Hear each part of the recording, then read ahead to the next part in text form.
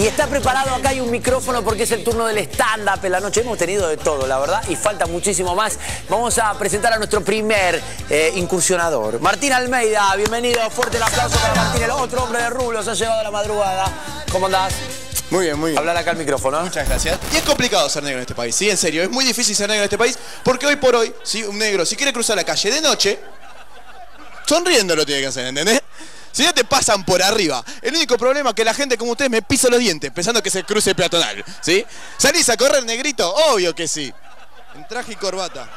Porque con ropa deportiva caigo en cana seguro. Si no dígame usted, un negro corriendo con ropa deportiva, ¿qué?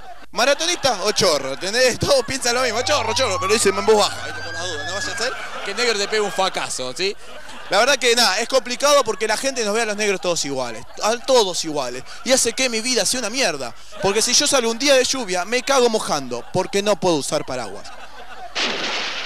No puedo usar paraguas, porque si no la gente deja de pedirme billutería, ¿entendés? Se complica, es muy difícil, es muy difícil. Pero nada, además de eso, eh, fui analizando un poco la vida, un poco las cosas, y, me doy cuenta que vivimos en una sociedad que está súper acelerada. Estamos muy acelerados, ¿sí? Y muy dependientes de la tecnología. Y estaría bueno que bajemos un cambio y prestemos atención porque a veces nos perdemos cosas que están buenas, que son copadas, ¿sí? Todos acá somos gente joven y tenemos WhatsApp, ¿no? Usamos WhatsApp. El otro día me pasó una situación muy loca. Estaba hablando por WhatsApp con un amigo y le digo lo siguiente. Che, boludo, ¿no sabes lo que me pasó? ¿Qué, negro? Estaba en un boliche y vi a la novia de Nico chapándose otro flaco. ¡No! ¡Posta! ¿En serio? Sí, se estaba chapando otro flaco y encima estaba contra la pared y lo estaba volteando. Carita haciendo así.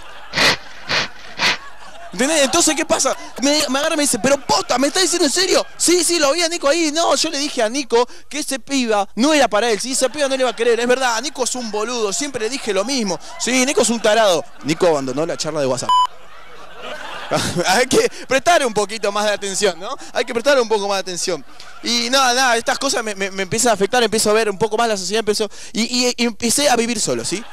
Llegué a vivir solo, estoy viviendo solo, estoy muy contento, estoy viviendo solo. Y chicos, vivir solo es magia. Posta, vivir solo es magia. ¿Por qué? Porque cuando vivís solo te empezás a dar cuenta que hay palabras que antes no existían, ¿sí? Por ejemplo, facturas, impuestos, BL hambre. No es que soy flaco porque sí, sino porque bueno, porque las cosas. Y me doy cuenta que hay inflación, loco, hay inflación. Y tenemos que darnos cuenta de eso. Pero quiero denunciar algo, chicos.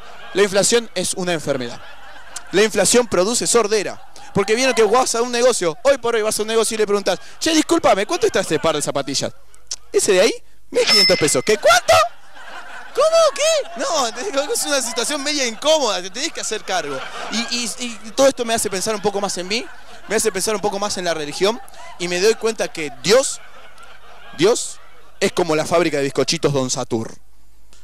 Porque viste que cada tanto te deja pasar uno quemado en el medio, ¿no?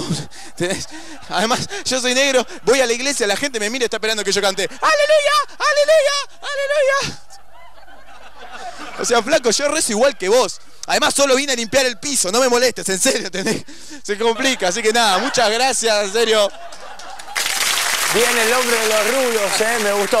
Muchas gracias, che. No, muchas gracias, querido.